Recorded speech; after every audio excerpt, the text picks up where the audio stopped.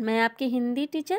आज आपको पाठ चौदह, जो बीत गई, सो बात गई पाठ के बारे में, उसका सारांश बताऊँगी। इसको मैंने क्लास में एक्सप्लेन कर दिया था। जो बच्चे क्लास में नहीं थे, वो बच्चे ध्यान से सुन लीजिए। और अब ध्यान से सुनने पे क्या होता है कि आधे क्वेश्चन के आंसर्स हमें वैसे ही आ जाते हैं। तो इस पाठ का सारांश ध्यान से सुनिए। ये पाठ जो है, जो बीत गई, सो बी, बात गई पाठ हरिवंश राय बच्चन जी द्वारा लिखित है।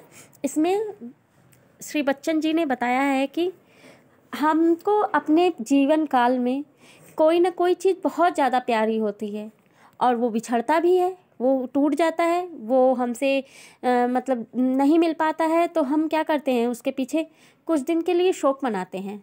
हम, लेकिन ये हाँ एक विवेकवान मनुष्य की पहचान बिल्कुल भी नहीं है। ये हमारी नकारात्मक सोच को बहुत बढ़ावा देती है, ऐसा हमें नहीं करना चाहिए।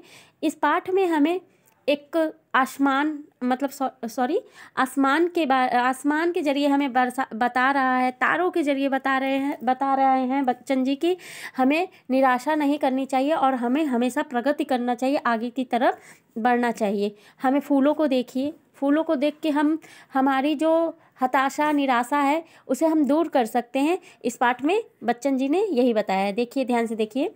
जीवन में एक सितारा था। जीवन में एक सितारा था। माना वह बेहद प्यारा था। वह डूब गया तो डूब गया। अंबर के आँगन को देखो। कितने इसके तारे टूटे, कितने इसके प्यारे छूटे। इस पाठ में ये बताया गया है। कवि ये बता रहे हैं कि जीवन में एक सितारा था। आसमान को देखिए। आसमान में इतने सारे तारे होते हैं, कभी वो टूट जाते हैं तो आसमान उसका विरोध नहीं करता। उसी प्रकार मनुष्य भी, मनुष्य के जीवन में कोई न कोई कोई ऐसी वस्तु, कोई ऐसा मनुष्य होता है जो बहुत ज़्यादा प्यारा होता है। वह हमसे बिछड़ जाता है, हमसे दूर हो जाता है। तो हम क्या करते हैं? उसको कुछ दिन के लिए शोक में डूब जाते हैं। ऐसा हमें बिल्कुल नहीं करना चाहिए। विवेकवान मनुष्य कभी भी ऐसा नहीं करता है कि अपने जो भी प्यारा है उसके शोक मनाए, बल्कि हमें उसको, आसमान को देखिए। आसमान में कितने ही तारे होते हैं, कभी हमें बहुत सारे तारे दिखते हैं और कभी हमें एक भी तारा नहीं दिखता है। कभी कभी आप देखते हैं, आसमान से तारे टूटते हैं। लेकिन क्या हम उसका शोक मनाते हैं? आसमान उसका शोक मनाता है? तुरंत क्या अब वर्षा देने लगता है कि हमारा तारा टूट गया है तो मैं वर्षा करूँ या कुछ उसका विरोध करूँ? तो ऐसा बिल्कुल नहीं है। आसमान के अगर तारे टूट जाते हैं, कोई तारा टूट गया तो आसमान उसका बिल्कुल भी विरोध नहीं करता है, बल्कि उसे प्रेरणा लेता है और आगे बढ़ने की कोशिश करता है। जो छूट गए, वो फिर कहाँ मिले? पर बोलो, टूटे तारों पर कब अंबर शोक मनाता है, जो बीत गई सो बात गई। तो अंबर यही, आकाश का यही कहना है कि हमें मनुष्य इस पाठ में कवि कह रहे हैं कि आकाश को देखिए, आसमान को देखिए, उसमें से तारा टूट जाता है, लेकिन वो उसका, आसमान उसका शोक मनाता हुआ बैठा नहीं लग, रहता। जो बात बीत जाता है, उसे भूल जाइए और हमें नई उम्मीद, नई आशा के साथ आगे बढ़ना चाहिए। जीवन में वह था एक कुसुम।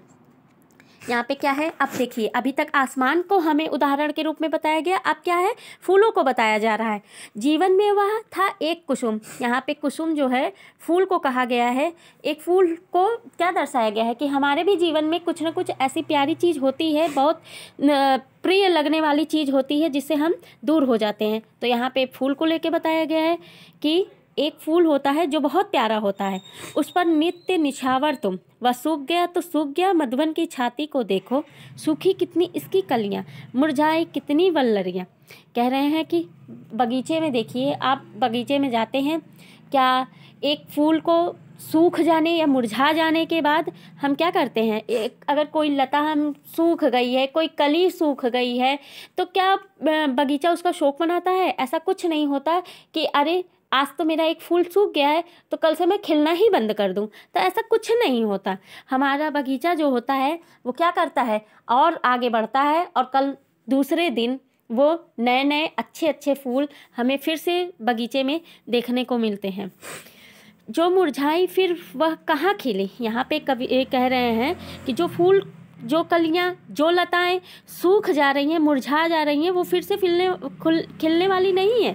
पर बोलो सूखे फूलों पर, कब मधुबन शोर मचाता है। यहाँ पे कह रहे हैं कवि कि क्या सो फू, जो फूल सूख गए नष्ट हो गए हैं उन पर बगीचा कभी शोर मचाता है या फिर कभी उसका विरोध करता है? तो यहाँ पे यही बताया जा रहा है कि फूल एक फूल के सूख सूख जाने पे बगीचा उसका कभी भी विरोध नहीं करता और हमें आगे बढ़ने की प्रेरणा देता है कि हमारा एक साथी सूख गया लेकिन हम उसका शोक नहीं मनाएँगे और क्या करेंगे? एक विवेकवान मनुष्य की तरह आगे बढ़ने की कोशिश करेंगे। ठीक है?